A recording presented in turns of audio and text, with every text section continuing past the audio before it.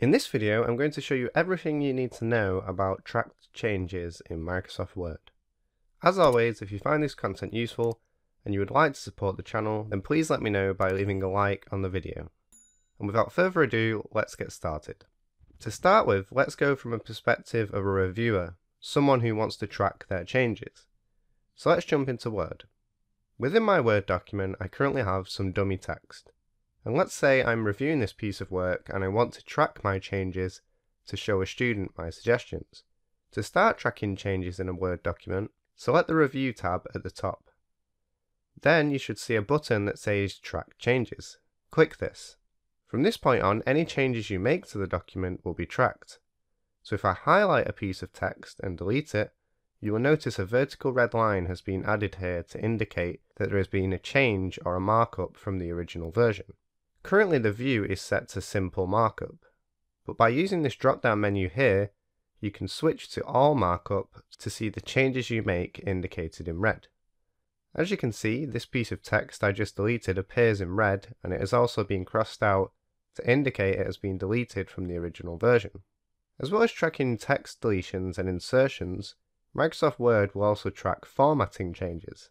For example, if I italicize a piece of text, you will see a note has been added to the right panel to describe this change. Something else you may wish to add are comments.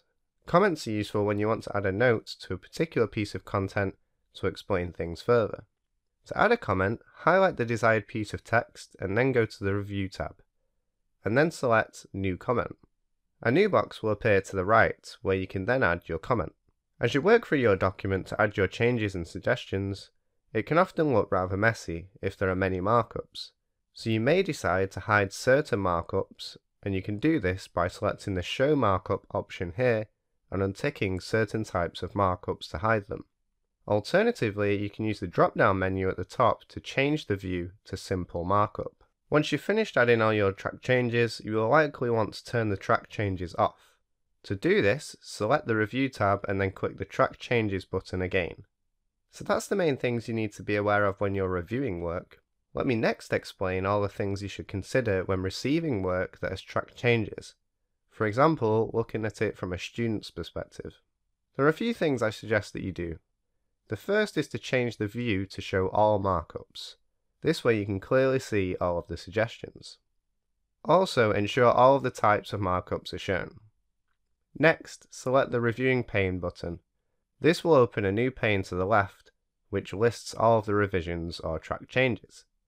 If you'd rather have this pane shown horizontally, then select the down arrow next to the button and select the horizontal option. I'm going to keep the vertical option for this demonstration.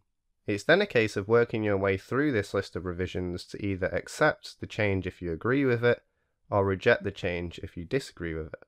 To accept or reject a track change, you can simply select it in the reviewing pane, or in the document itself, then go to the Review tab, and within the Changes area, select the Accept button to confirm the change, or the Reject button if you want to remove the change. Another way you can accept or reject a track change is to simply right-click on the change within the document and select the appropriate action.